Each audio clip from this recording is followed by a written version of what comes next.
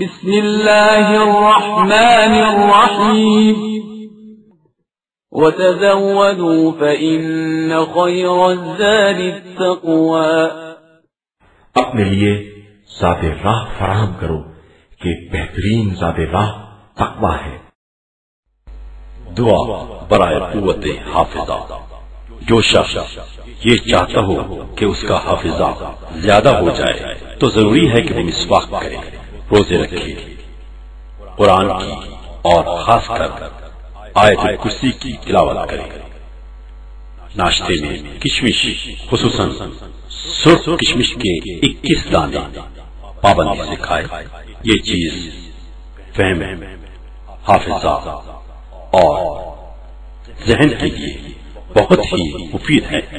اسی طرح حلوہ، جانور کی گردن کے قریب کا گوشت شہد اور مسور کا کھانا بھی ترقی حافظہ کا موجب ہوتا ہے۔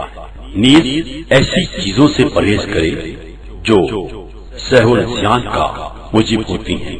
اور وہ یہ ہے کھٹا سیب، سبز دھنیا، پنیر اور چوہے کا جھوٹا کھانا، کھڑے پانی میں پیشاب کرنا، قبروں کی تختیوں کو پڑھنا دو عورتوں کے درمیان سے گزرنا، جوئے پکڑ کر زندہ چھوڑ دینا، ناخن نہ کٹوانا، دنیاوی امور میں بکثرت مشغول ہونا اور ان کے لیے مغموم رہنا۔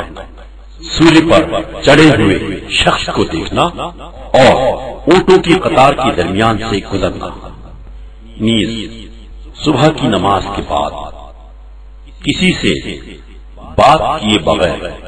یہ کہے يا حي يا قيوم فلا يفوت شيئا علمه ولا يؤوده اے زندہ اے پائندہ جس کے علم سے کوئی چیز نکل نہیں پاتی نہ اسے ٹکاتی ہے۔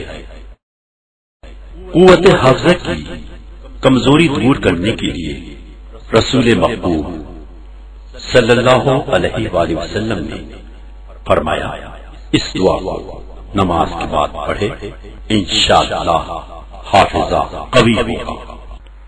بسم الله الرحمن الرحيم شروع کرتا ہوں اللہ کے نام سے جو بڑا مہربان اور مسلسل رحم کرنے والا ہے۔ سبحان من لا يعتدي على أهل مملكته. سبحان من لا يأخذ أهل الأرض بألوان العذاب. سبحان الرؤوف الرحيم. اللهم اجعل لي في قلبي نورا وبصرا وفهما وعلما. إنك على كل شيء قدير. پاک و منزہ وہ ذات جو اپنے اہل مملکت پر ظلم و زیادتی نہیں کرتا۔ پاک و منزہ وہ ذات جو اہل زمین کو مختلف قسم کے عذاب میں مبتلا نہیں کرتا۔ پاک ہے جو روف و رحیم ہے۔ اے اللہ، تو میرے دل میں نور اور بصیرت اور فہم و علم عطا فرما۔ بے شک تو ہر شے پر قادر ہے۔